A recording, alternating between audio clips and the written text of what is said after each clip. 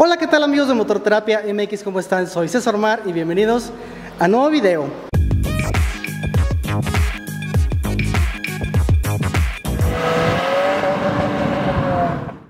Y bien, pues el día de hoy les presento al nuevo Chevrolet Aveo 2024. En este caso, por el momento, solamente vamos a tener la versión hatchback.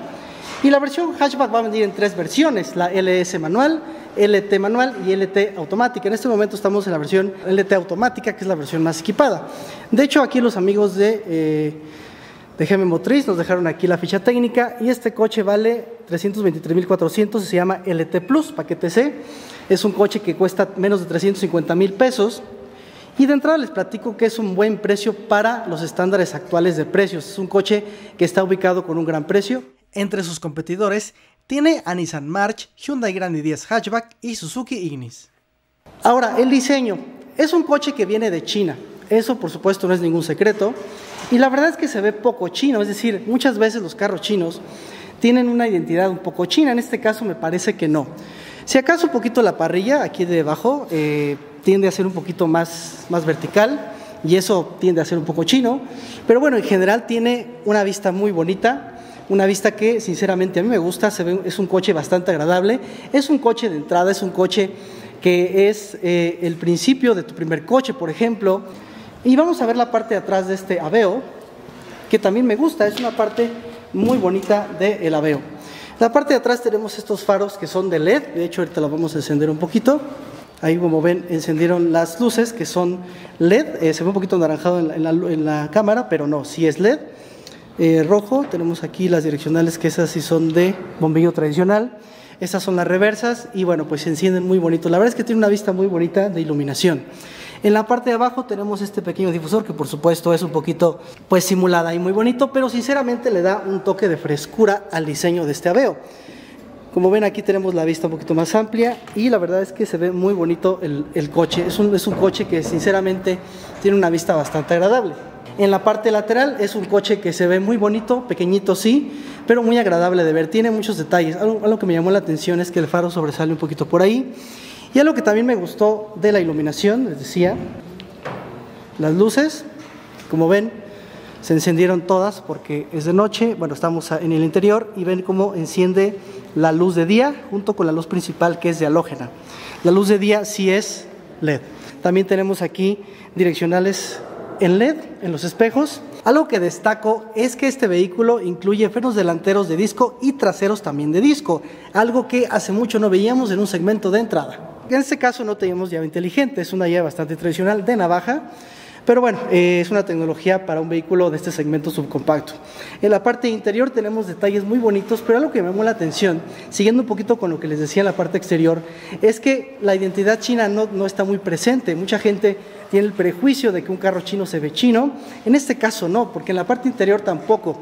Tenemos, por ejemplo, este detalle que es todo plástico, esta es la versión más equipada y todo es plástico en color gris, le da un contraste muy bonito. También tenemos este detalle que es en color negro brillante, bastante agradable de ver. Esta parte también es color negro brillante. Aquí la manivela para abrir la puerta. Y tenemos aquí los asientos que en esta versión son en tela. Obviamente no tenemos piel, al menos en esta versión hatchback. Tenemos aquí los ajustes manuales del asiento. Tenemos aquí, por supuesto, los controles de los espejos eléctricos, aquí la altura de la, de, la, de la, luz, que también incluye, y los sistemas de seguridad, que son, por ejemplo, el control de estabilidad y tracción. Como pueden ver, también tenemos detalles en gris, en gris plástico en la parte interior. Vamos a sumergernos un poquito más. Este coche tiene una llave totalmente de navaja. Muy bonita, de hecho bastante diferente a lo que conocemos de la marca. Y vamos a encenderlo, es una versión automática, como pueden ver ahí, es una versión CBT. Entonces vamos a encenderlo. Aquí se atoró un poquito el volante, así que voy a tener que dejar esto por aquí. Y ahora sí lo encendemos. Vemos un poquito el volante. Y ya encendió el vehículo. Como ven tenemos un closet de instrumentos con una pantalla interior, con una computadora de viaje. Tiene información necesaria del coche que podemos mover con estos botones que tenemos aquí. Por ejemplo el brillo. Podemos aquí eh, también un poquito mover ahí algunos ajustes. Es una, una pantalla bastante sencilla, la verdad es que no tiene mucho que ver solamente configuraciones de idioma, aquí tenemos el consumo de combustible. Tenemos esta pantalla, que esta pantalla es una pantalla de 8 pulgadas que tiene Android Auto y Apple CarPlay. Pero algo que me gusta mucho es que tenemos, tenemos aquí una cámara de reversa de blanco porque la pared de atrás es blanca, pero es una cámara de reversa que tiene una muy buena resolución, es una cámara muy buena y la pantalla también tiene muy buena resolución. Algo que me gustó es que, por ejemplo, si enciendo el aire acondicionado, tenemos por ahí un panel de control donde podemos encender y apagar el aire acondicionado. No es táctil el control, es decir, no tenemos aquí los botones, porque tenemos un botón eh, extra para eh, o físico para el aire acondicionado. Aunque por supuesto todo lo demás sí es táctil, es una pantalla táctil, obviamente. Entonces, por ejemplo, aquí podemos configurar ciertas cosas, como el efecto de sonido. Aquí tenemos ahí una configuración extra. Vaya, es una, pantalla que cumple bastante bien para los estándares actuales. Aquí tenemos el botón Home.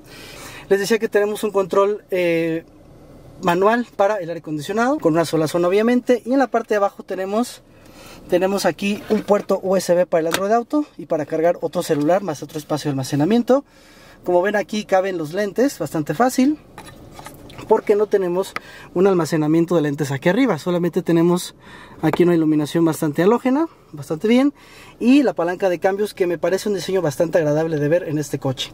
El volante me gusta mucho, es un volante muy bonito, es un volante de nuevo diseño de la marca, y vaya que es un volante que agrada mucho de conducir, es un volante confortable para manejar en la ciudad y para maniobrar dentro del tráfico. Aquí abajo también tenemos un freno de mano eh, mecánico, dos portavasos, tenemos también aquí un espacio de almacenamiento extra que es bastante agradable con un puerto de 12 volts también. Tenemos un puerto de 12 volts. La guantera es eh, de un tamaño bastante normal no precisamente destacable. Tenemos buenos espacios de almacenamiento en las puertas. Les decía que el diseño interior me gusta porque no se ve muy chino se ve bastante agradable. Es un coche que gusta mucho en muchos sentidos. Aquí por ejemplo si yo le piso un poquito el acelerador pues ahí va subiendo, así que ahorita vamos a hacer la prueba de manejo, más adelante se las muestro. Pero bueno, vamos a pasarnos ahora sí a la parte de atrás.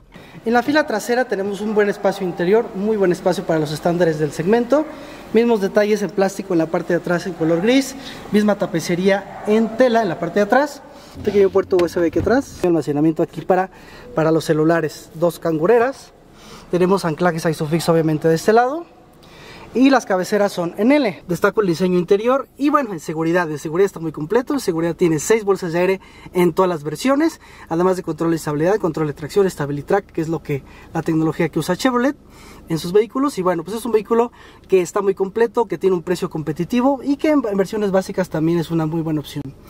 Vamos a ver ahora la cajuela.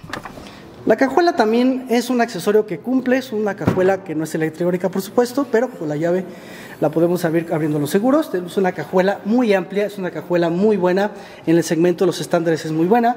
Uno de los competidores que tenemos es Suzuki Ignis, que es una cajuela con una estructura un poquito diferente, más profunda, en este caso es como un poquito más larga, además también podemos abatir los asientos 60-40 el cubre objetos de la cajuela es como accesorio, así que bueno, pues ya los estándares nos están alcanzando, ya la mayoría no incluyen. Y bueno, pues este es el poderosísimo motor del Chevrolet AB 2024.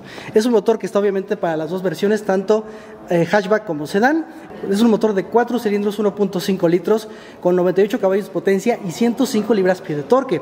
Destaco la diferencia entre una cifra y otra porque no es tan común ver un motor naturalmente aspirado con una cifra de torque mayor. Generalmente la vemos en los motores turbo. En este caso me parece una buena potencia. Ahora, el manejo, el manejo es muy citadino, ahorita los vamos a platicar más a detalle. Eh, y tiene una transmisión CVT en este caso, en esta versión automática. Entonces, pues bueno, ahora sí vamos a ver el manejo. Y bien, pues Chevrolet Aveo tiene una característica especial en las versiones, porque curiosamente en esta versión hatchback tenemos una versión para flotillas que es la, LS. Y después sigue esta que es la LT. Y esta LT pues está en dos versiones manual o automática. Ahora, en ese caso me parece un buen precio para el Chevrolet Aveo. Es un coche bien equipado con seis bolsas, que era lo que más nos interesaba. Lo que más nos interesaba en la evolución del Aveo o en una nueva generación es que llegara con mejor seguridad. Y vaya que ya nos llenó, nos llenó el jarrito de lo que deseábamos. Y, y la verdad es que lo está cumpliendo muy bien este coche. Entonces, si es buena opción, la verdad es que esta reseña probablemente no sea tan larga, porque pues la verdad es que tiene muchas cosas buenas que decir de este Aveo. Y las cosas buenas se encuentran rápido. Chevrolet Aveo es un coche que tiene muy buenas características desde la, seguridad que ya implementa, desde el espacio que tiene este coche. Una cosa que me llama mucho la atención es la calidad en el cual está armado este coche. Este coche está fabricado en China y mucha gente por supuesto no le gusta que sea fabricado en China, pero yo creo que deberíamos ya acostumbrarnos porque bueno, pues no es el primer vehículo que Chevrolet trae de esa región. Y además que este coche está muy bien armado. De hecho me llama mucho la atención que si yo acelero este vehículo a fondo,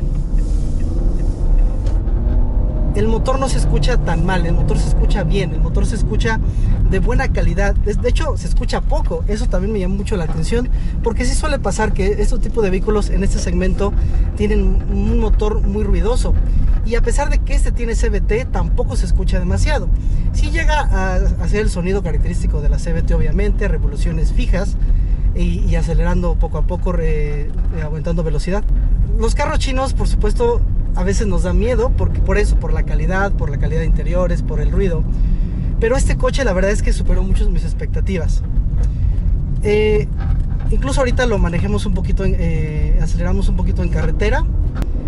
Y me está gustando el coche, no está nada mal. El diseño es bonito, me gusta mucho el diseño interior de este Aveo.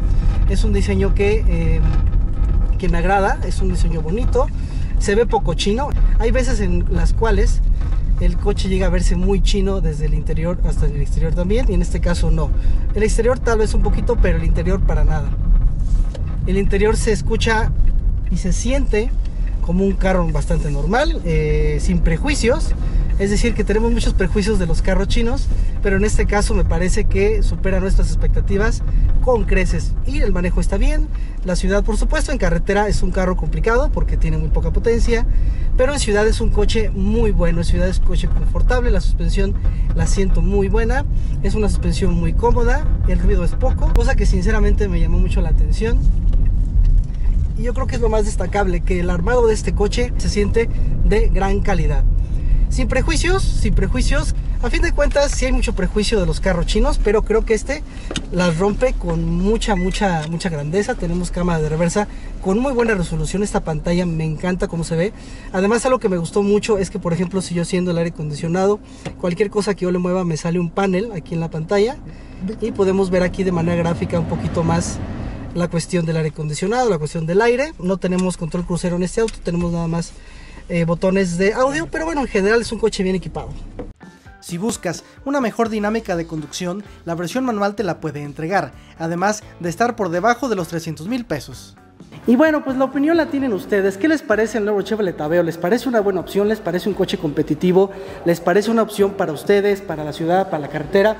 Para la carretera eh, probablemente el motor nos queda de ver un poquito. En general es un coche más citadino pero creo que es un coche bueno, con buena seguridad, con buen equipo y a buen precio. Así que uno de los mejores hatchback del segmento aquí en México. Pero comenten aquí abajo qué les parece. Los invito a que me sigan mis redes sociales, Twitter, Instagram y Facebook. Por supuesto también los invito a que se suscriban a mi canal Motorterapia MX y quiero agradecer a la agencia de GM Motriz Lomas por haber prestado este vehículo. Así que nos vemos en la próxima. Bye bye.